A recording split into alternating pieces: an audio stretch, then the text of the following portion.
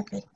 Um, so I'm Gosia, I'm the founder of Asset Management Systems. It's a small consultancy supporting clients um, in the investment and property management sector with identifying asset management strategies um, for the property and operational effectiveness. Uh, so over the last 15 years, I've been working in construction, uh, commercial real estate and transport sectors, improving asset performance, quality of design uh, and construction to drive results and profitability. Um, so today I will I would like to share with you um, an approach related to responding to changes in the supply and demand uh, on the market. Uh, so in my earlier days as a senior asset manager, um, I have learned that my decisions are as good as the efforts uh, I put into investigating the context for the projects. So understanding the circumstances that influence our decisions uh, is essential and will benefit everyone long term um, and ensure project uh, profitability. So at present, we are facing a dramatic shift in the direction of travel um, that we have never seen before. So the impact of pandemic, uh, Brexit, and technological progress are transformational to our industry. Um, so the hottest topic, uh, of course, is the long-term direction of travel and review of new investment strategies, especially um, where there is an oversupply of office and retail stock and where the demand has shifted uh, towards people working from home and living more locally. Uh, this trend has significantly impacted the industry, but it also opened up opportunities and need for repurposing of old uh, stock rather than building new properties in few cases. It is also almost one-time life, uh, it was one um, opportunity to improve people well-being um, and work-life balance. So today um, I will talk a little bit more about the uh, trends, the shifts in the market, um, and review um, of options um, that you might find uh, useful for your decision making. So there are six core uh, factors that shape our reality today and impact on our short and long-term decisions, where property is always a, um, a long-term game. And um, so those trends um, drive drive the demand uh, on the market for uh, buildings and the prop and the use of property. Um, so if we go through each one of them in uh, short detail, so when we look at the political trends, uh, due to COVID outbreak and hard Brexit on the horizon, the unknown uh, position of the UK on the global scene, we're looking at the long-term uncertainty of political scene. However, the key uh, themes for the UK PLC are CO2 reduction, driving innovation, research and design towards clean growth um, and low carbon technologies in all aspects of, um, of life. The um, impact of COVID on economy um, had dramatic outcomes for the property and construction sector. Um, initial lockdown, social distancing and quarantine measures shifted the working habits from office to working from home, um, further creating a domino effect almost of changing customer behaviors to online shopping, um, home deliveries, and dependency on super fast uh, broadband. So as a result, um, education, retail, entertainment venues, gyms, swimming pools, transport link, and commercial real estate have been have um, largely come to a standstill and facing oversupply and therefore reducing needs for new construction projects. So from the uh, social uh, trend perspective, um, we're looking at increase of world population. So by 2030, um, the world's population will rise by 1 billion. So more than half of the uh, world population will live in urban areas, uh, which will significantly increase demand for affordable housing, micro neighborhoods um, and alternative accommodation in urban uh, areas. And the predictions are that by 2025, digital technologies like sensors detecting environmental conditions, Hive solutions, um, and management of information from those devices will reach up to 8 billion in sales.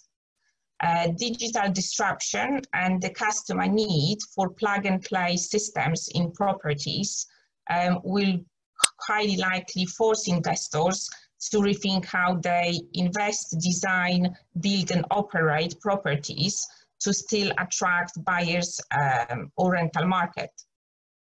Um, as the world becomes more populous and urbanized, the um, demand for energy, food, and water will rise. So um, the environmental factors will become uh, really important to address. So managing the population impact on the planet and reducing CO2 emissions will further uh, drive more to, to reuse, recycle, repurpose different types of uh, buildings and actually waste from buildings uh, itself. Um, there is an emerging trend called circular economy um, that leads to creation of new and second-hand markets for actually raw buildings materials. Um, as you might be aware, there is a new legislation in place since the beginning of September, introducing changes to uh, planning permission for non-residential and residential developments.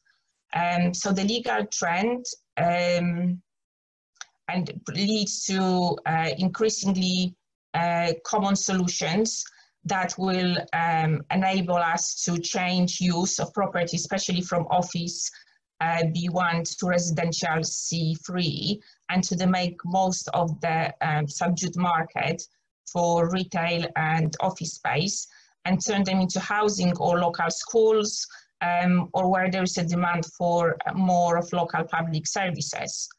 Um, so those changes make planning process simpler uh, and more straightforward. Um, and so it is important to keep an eye also on the uh, new building safety bill, um, environmental standards that will impact um, sellability of property in the near future. Um, and developers are also encouraged to provide accommodation that meets uh, permitted development guidelines um, at least. So the, quick, the key question is how to respond to those trends and what strategies we can adapt to drive investment profits. Um, there is, of course, infinite number of um, options um, and individual context of each project. Um, but the key is to address all the uh, challenges at the same time and offer customers an integrated um, value proposition. So an integrated uh, proposition and offer uh, for customers is an investment strategy um, specifying how your project addresses the, um, the key six trends in the project strategic brief or a business case. Um, so to provide a unique offer to the uh, property buyers or rental market, the investment strategy should provide overall project requirements that give investors um, bottom line benefits. And so um, integrating all requirements into one brief and calculating upfront all the costs for the design, construction and maintenance um, reduces overall investment costs, uh, takes out the duplication, costly changes, perhaps in the operational phase, um, reduces uh, reputational damage and actually um, takes down the overspend uh, and customer complaints. Um, there is also approximately 20% saving um, on the overall investment due to the strategic decisions made at the beginning of the project. So um, having an investment strategy um, and a strategic brief to support it enables to have a sanity checkpoints and make sure the project is fit for purpose, meets all the requirements throughout all the phases of design, construction and maintenance. Um, strategic brief is also a great place to secure uh, maintenance of service, uh, statutory compliance before practical completion, um, which enables customers onboarding really early um, and actually rent collection without rent-free periods. Um, it also opens up doors for um, R&D funding um, and actually improves the uh, quality of the build should people look into improving and solving problems, um, but actually understanding the context really early. So investment strategy is also beneficial to the customers. Um, efficiently delivered projects with uh, cost balance between capital and operational phases uh, can have lower purchase or rental price. Um, well-established uh, places have lower maintenance costs. Um, installing the right equipment reduces the cost of utilities. Um, looking into putting in technology like Hive or internet controlled white goods gives the end user flexibility in managing their bills and usage um, and actually takes uh, reduces overall environmental impact. Um, and there is, of course, the super fast broadband that offers the plug and play lifestyle, uh, an opportunity to work from home and access to um, other commodities. So considering everything we spoke about, um, you might be wondering how good looks like and what results can be expected from an integrated value proposition. So building um, a sustainable um, and environmental solutions that reduce CO2 levels means that we need more um, properties that are well insulated. They have alternative energy systems uh, built into the uh, property. So it could be solar, uh, micro power generation, um, solar assisted heating, low energy lighting, uh, plug and play points for uh, electric cars. Um, often people are willing to trade in some places if the location is right and the rent is achievable. Um, a green, eco-friendly building with community spaces uh, can address occupants' well-being. There is obviously a need for maintenance of gardens and green spaces in the overall uh, cost models. So again, having the strategic brief and working through um, all those requirements in the early stages um, gives us this sort of clarity and space um, and just leaves us without surprises uh, later on. Plug and play spaces with uh, super fast broadband and uh, innovative IT solutions to control interior comfort um, and energy usage are definitely in uh, demand with more and more people working from home um, and keeping the space cool in the summer uh, is a prerogative uh, for well-being and healthier living.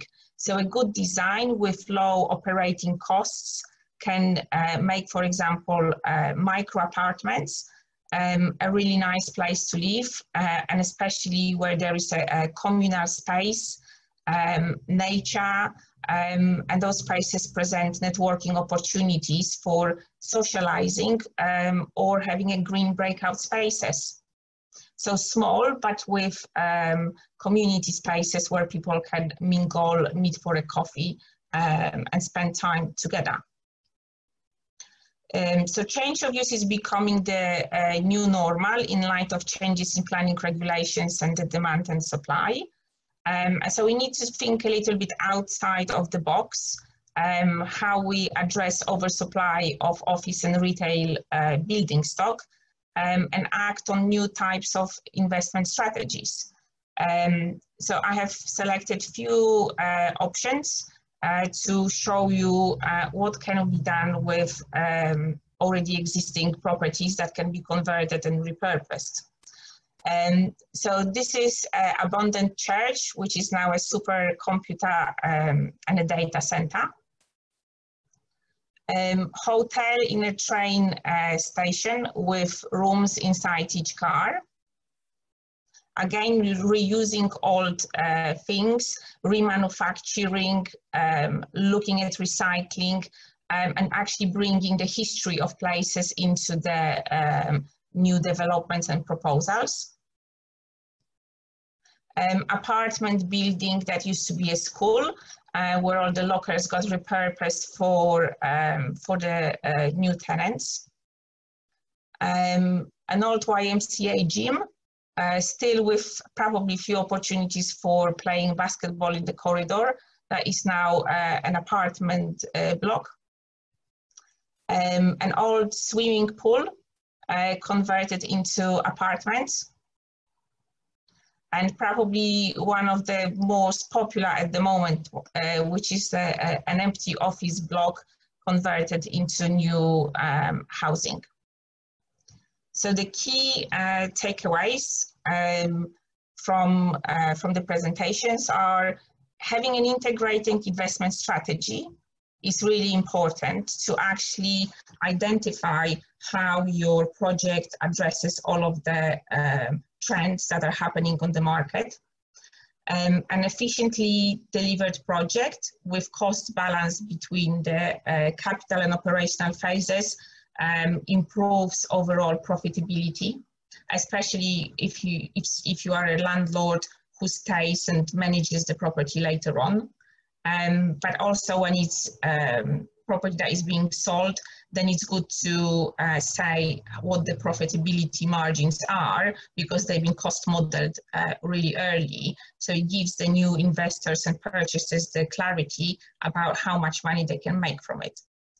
And there is approximately 20% saving achieved from those strategic decisions made at the beginning of the project. Um, and they dare to reduce the overall investment, but also to uh, manage out duplication um, and overspend on costly changes in the maintenance phase.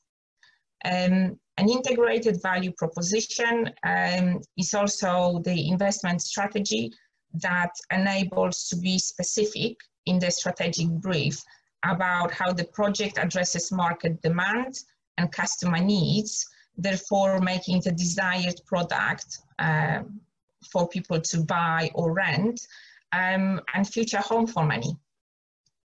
Thank you.